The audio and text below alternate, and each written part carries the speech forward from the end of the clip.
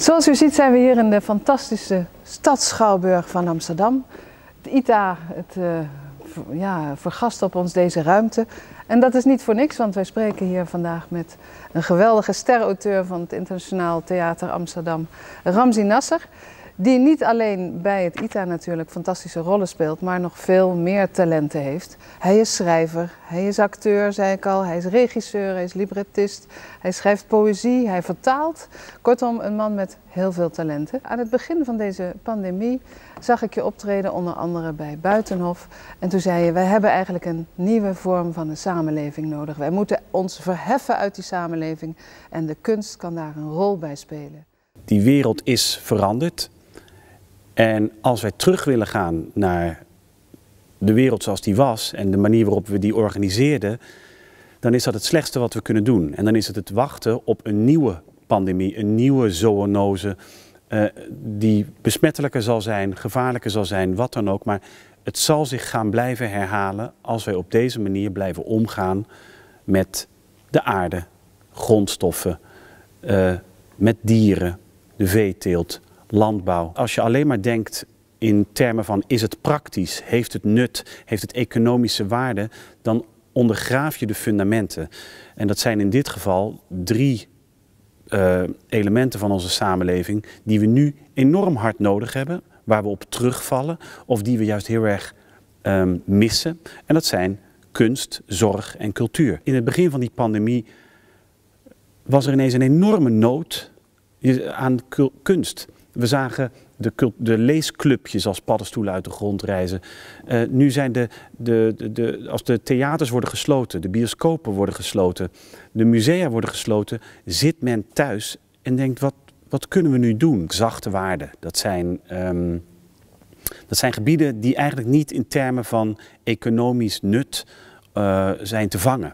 Ja. Die ontsnappen daaraan. Maar we hebben er wel op bezuinigd. We hebben erop gekort omdat het de sluitpost was van onze samenleving. Eerst maar eens zorgen dat het economisch in orde komt. En op alle andere vakken, en in het onderwijs bedoel ik dus zachte vakken, bijvoorbeeld zoals Grieks, Latijn, uh, Oud-Frans, um, filosofie, geschiedenis. Maar ook fundamentele wetenschappen, wiskunde A. Dingen die niet direct van nut zijn.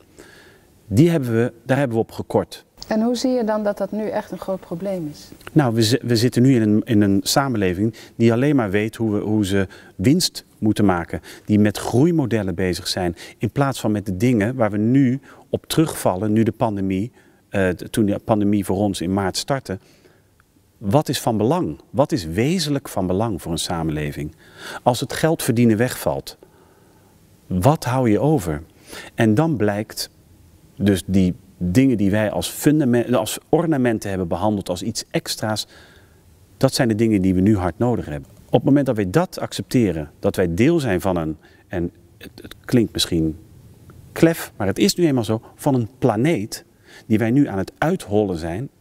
Op het moment dat we dat accepteren, maken we kans om een nieuwe samenleving te creëren die op een andere manier naar termen als geluk kijkt, als uh, besteding, als idealen.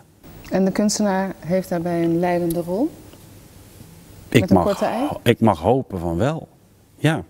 Ik zeg niet dat kunst de wereld redt. Ik zeg ook niet dat alle kunstenaars zich moeten inzetten om de maatschappij uh, te helpen, vooruit te helpen. Ik denk dat bepaalde kunstenaars, en dan heb ik het niet, dan heb ik het niet over um, iets hoogdravends. Ik heb het over scenaristen, filmscenaristen, toneelschrijvers, romanciers, die denken, het is een uitdrukking van uh, Macron, het ondenkbare denkbaar maken. Mm -hmm.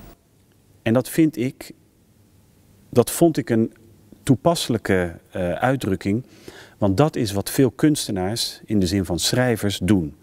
Die, die denken in termen van ondenkbare scenario's en gaan die uitdiepen. Wat mij opviel was toen de pandemie net begon, konden we die alleen maar uitdrukken in termen van fictie. Ja. Het was te vergelijken met een, een serie. Het was te vergelijken met Black Mirror, met de, de Handmaid's Tale. We hadden niet de, de handvatten om de realiteit uit te drukken. Hm. Behalve in termen van fictie. Maar er zijn mensen die daarmee grootse kunst hebben gecreëerd.